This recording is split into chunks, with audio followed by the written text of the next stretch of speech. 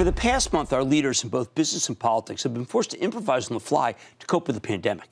They're making the kind of decisions that normally only get made by generals on the battlefield. So maybe it makes sense that they're going to generals for advice. Generals like Stan McChrystal, he's the retired four star general who served as commander of the U.S. and International Security Assistance Forces in Afghanistan. And before that, ran the Joint Special Operations Command at the peak of the war on terror. These days, he's the founder and CEO of the McChrystal Group, which provides consulting services to help organizations build more effective teams. They're helping executives establish crisis response plans in real time, and they're were just hired by the city of Boston to help with its pandemic response.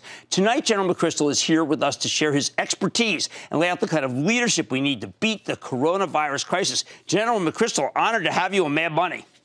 It's my pleasure, Jim. Thank you.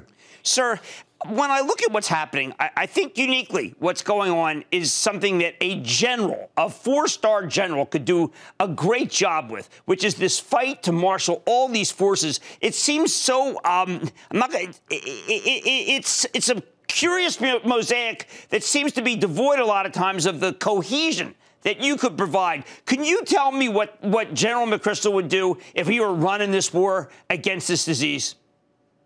Well, I can tell you what I'm doing right now. I'm, I'm really asking myself two questions What's happening, and what can we do about it? When I think about what's happening, we're facing an amorphous medical challenge that's frightening, a pandemic, and we're facing an economic challenge related to it. But together, they're very disorienting to everyone. Now, there's a temptation for us to say it's a black swan event. Nobody could have seen it coming. And therefore, we have an excuse for not being prepared or adapting well. And I, I don't think that's right. One thing we know about crises, and Jim, you've lived through some, and I've spent a lifetime living through them, is they are inevitable. Right. They all are a little different, but they have a common DNA. And the reality is we have to deal with them, and we'll deal with this one. We'll get through it.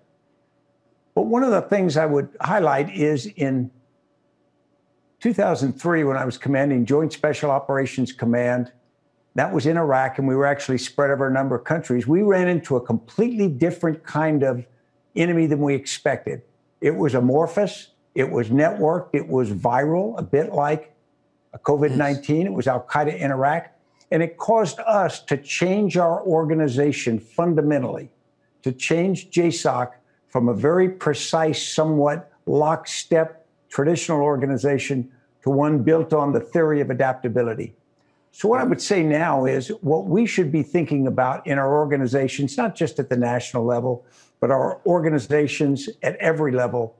We need to think about not dealing with just this crisis, although we'll have to deal with this, but to build our organizations with the fundamental premise that crises will arrive, and therefore we're going to deal with the speed and complexity of modern world by building the ability to respond to crisis, not just right. try to a- avoid well, them. Well, General, I know that there's money uh, in this bill that is being signed uh, this afternoon uh, for every, every, single part of the armed forces, whether it be the Marines or whether it be the Air Force.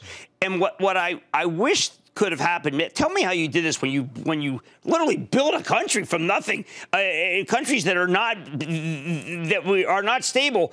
Why are we not able to coordinate everything to the point where we, we have a quartermaster, for instance, who knows that we need masks, so that we don't look like a a, a lesser world country uh, where, where there's not enough gowns? I mean, why do we not know? We know it's coming to New Orleans right now. Why are we not and don't have an advanced party down in New Orleans? How come it's not? How come we're behind every time? Time.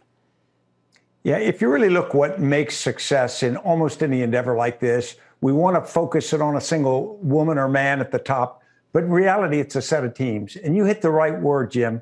You said coordinate.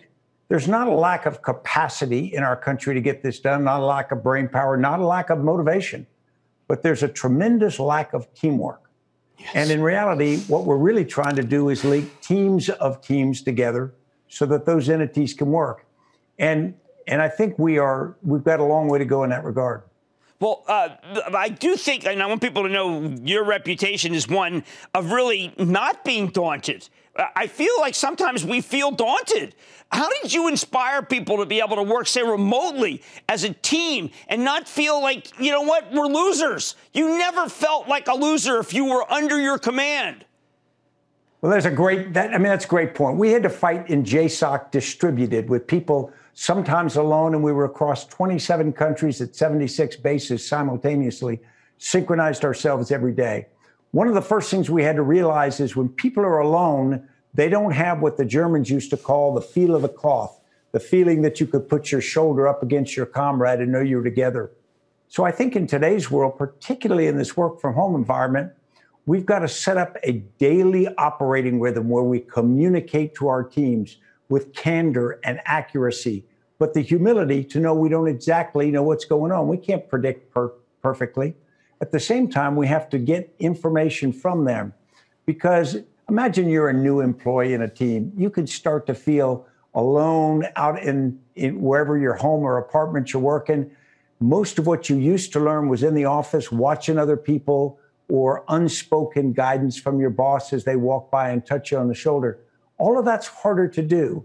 So I think we need to look at what we grow, uh, came to call in JSOC as digital leadership.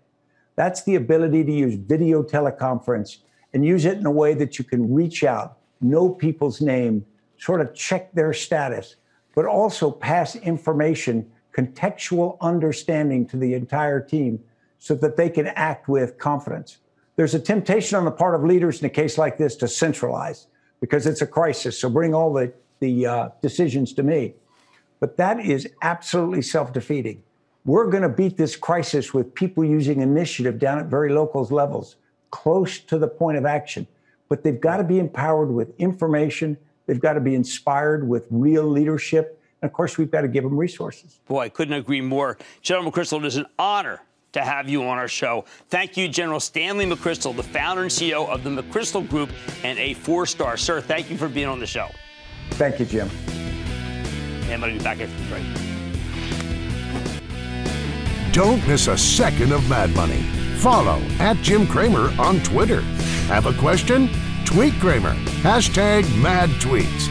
Send Jim an email to madmoney at cnbc.com or give us a call at 1 800 743 CNBC. Miss something? Head to madmoney.cnbc.com.